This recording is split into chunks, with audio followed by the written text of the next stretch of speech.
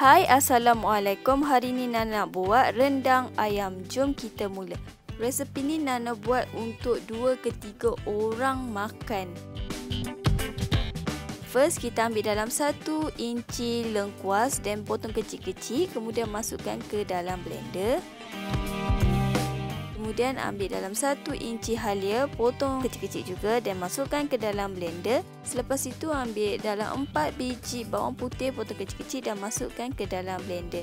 Ambil pula 1 biji bawang besar, potong kecil-kecil dan masukkan ke dalam blender.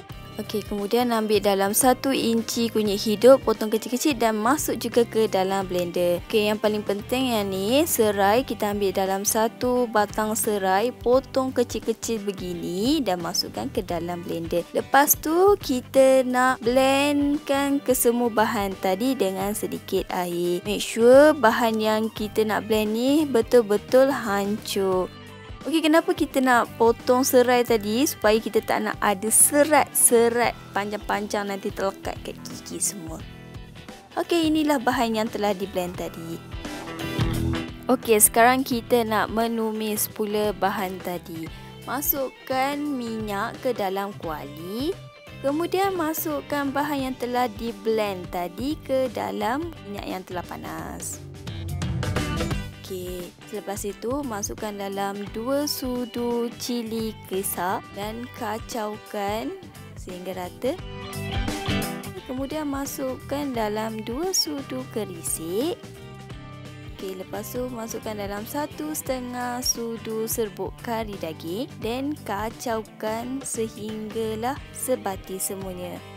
Okey, sementara itu jangan lupa subscribe, like, komen dan share YouTube channel Game Makan dan tekan loceng untuk sentiasa update dengan video baru kami.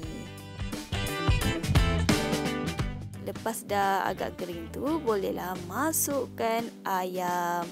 Kita masukkan daun lima purut. Daun lima purut ni kena buang batang tengah dia tu sebab tak nak bagi rasa pahit tu keluar. Okey, kalau kita buang batang tu barulah tak ada pahit. Okey, lepas tu masukkan sedikit air dan masakkan ayam tu. Okey, nak lagi masak kita tutup dengan penutup periuk. Alright, dah agak masak macam tu. Kacaukan sikit. Tu masukkan gula. Okey, ni gula ni ikut ikut kesedapan lah nak banyak ke sikit ke. Lepas tu masukkan 2 keping asam keping, masukkan sedikit garam dan juga serbuk perasa. Kemudian masukkan 150 ml santan dan kacaukanlah dia. Okey, um, rendang ni Nana nak kurang minyak. So Nana tak nak pakai minyak yang banyak. So kalau korang nak rendang ni berminyak korang boleh bubuh lagi minyak lah. Boleh tambah minyak lagi. Selepas itu masukkan daun kunyit. Okey, lepas tu korang kacau-kacau-kacau kan Sehinggalah betul-betul masak dan bau semerbak macam tu. Dan dah siap. Rendang ayam dah siap. Selamat mencuba Jangan lupa subscribe YouTube channel Game Makan dan tekan loceng untuk sentiasa update dengan video baru kami. Bye!